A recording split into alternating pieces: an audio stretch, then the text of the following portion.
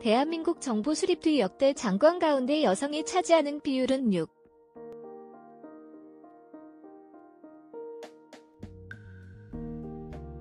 36%에 불과한 것으로 나타났다. 여성정책 주무부처로 장관이 모두 여성이었던 여성가족부를 빼면 이 비율은 3.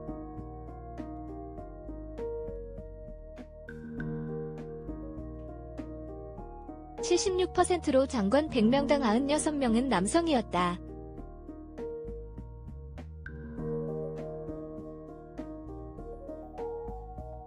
역대 여성 장관이 한 명도 나오지 않은 부처도 다섯 개나 됐다.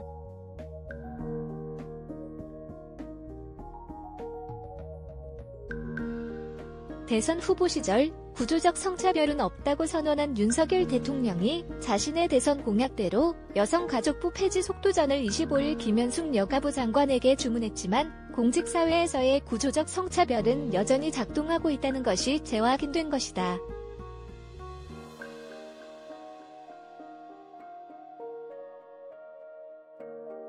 과거의 견조 소폭 늘긴 했으나 여전히 여성 장관은 상징적 이미지로 소비되고 있다는 지적이 나온다.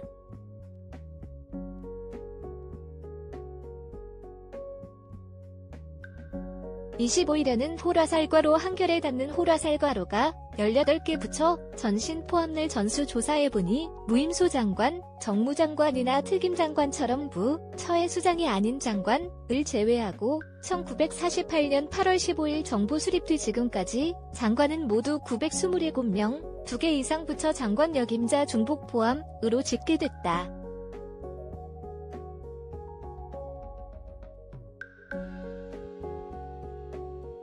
이 가운데 여성은 6.36% 59명에 불과했고 나머지 93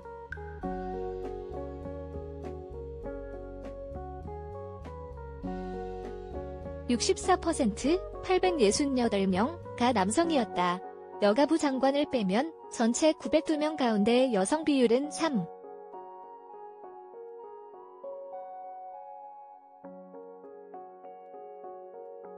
76% 34명로 내려앉았다. 역대 장관들의 성별 비율을 분석한 것은 이번이 처음이다.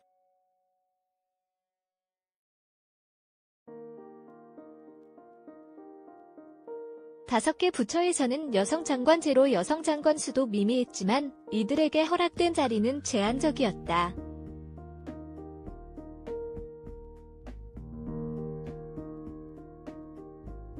기획재정부, 과로 아는 역대 장관 수 94명, 행정안전부 116명, 농림축산식품부 64명, 통일부 41명, 국방부 48명 등 5개 부처에서는 지금까지 여성 장관이 단 한 명도 나오지 않았다.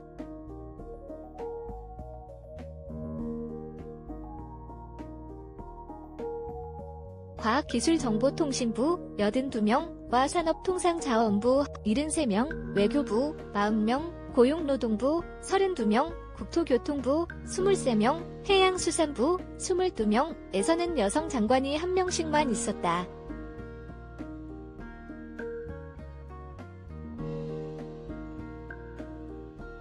각각 임혜숙, 이명신, 강경화, 김영주, 김현미, 윤진숙 전 장관이다.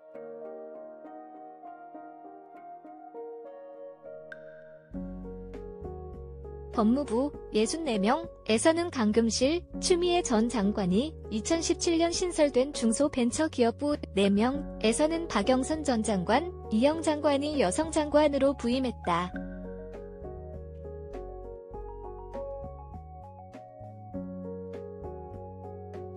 교육부 59명과 문화체육관광부 53명에서는 각각 4명의 여성 장관이 발탁된 바 있으며 환경부 26명 과 현재 장관이 공석인 보건복지부 61명에서는 각각 8명의 여성 장관이 있었다.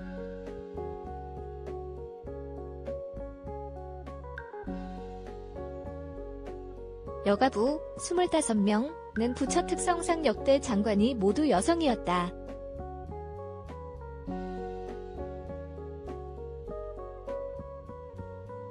여성 장관 가장 많이 배출했던 문재인 정부 정권별로는 문재인 정부가 13명으로 가장 많은 여성 장관을 배출했다.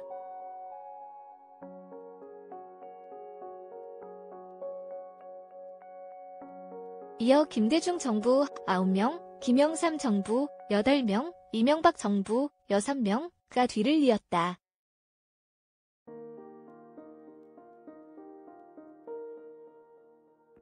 노무현 정부와 박근혜 정부에서는 각각 5명의 여성 장관이 나왔고 노태우 정부 4명, 이승만 정권 3명, 전두환 정권과 최규하 과도 정부에서는 각각 1명이었다.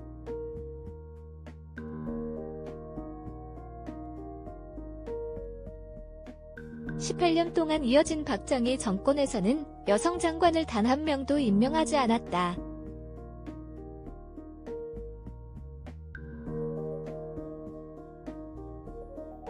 윤석열 정부는 보건복지부를 뺀 17개 부처 가운데 현재 4개 부처의 여성 장관을 임명했다.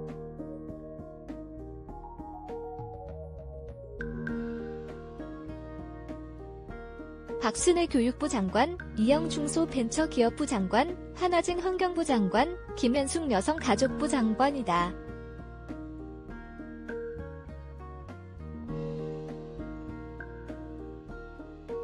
여성 장관은 늘어나는 추세지만 변화의 폭은 미미하다.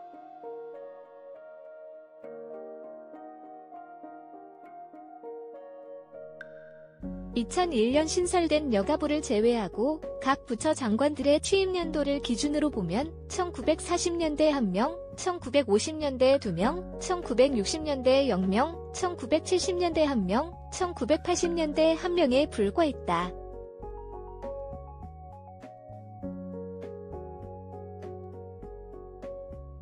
1990년대 여성 장관은 9명으로 늘어났지만 2000년대 4명으로 감소한 뒤 2010년대 10명을 기록했다.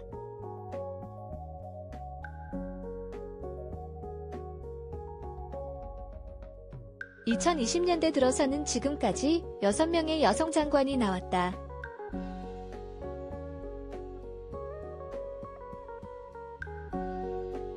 여성 장관 임명은 구색 맞추기식 지적 전문가들은 이런 여성 장관 비율만 봐도 현실에서 여전히 구조적 성차별이 작동하는 것을 알 수 있다고 지적했다.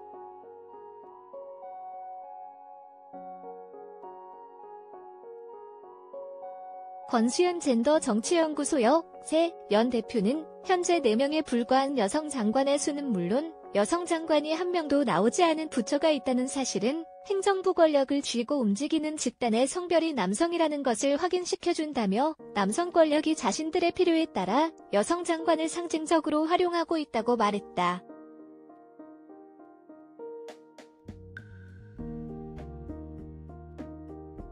이른바 서오남, 서울대, 50대, 남성, 위주의 인사로 외신 등으로부터 남성 편중 내각이라는 지적을 받은 윤석열 대통령이 지난 5월 교육부, 보건복지부 장관을 여성으로 지명한 것처럼 여성 장관을 실질적 평등이 아닌 구색 맞추기로 끼워 넣고 있다는 것이다.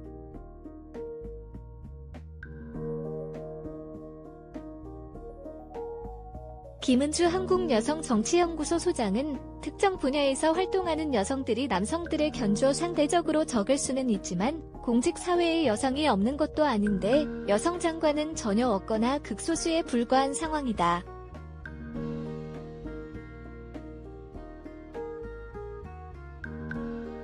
이는 단지 여성 개개인의 능력만으로는 설명할 수 없는 성별 분업이라는 인명권자의 차별적 인식이 작동하고 있다는 것을 보여준다고 말했다.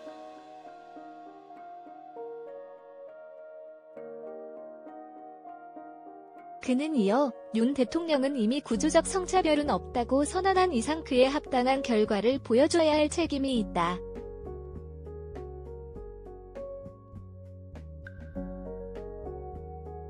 국정 운영의 책임자로서 여성과 남성의 능력이 동등하게 발휘될 수 있도록 해야 한다고 덧붙였다.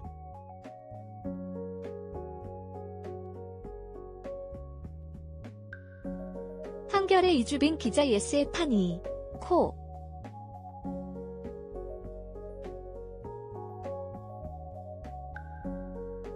케이아 이정현 기자 쉥쉥의 판이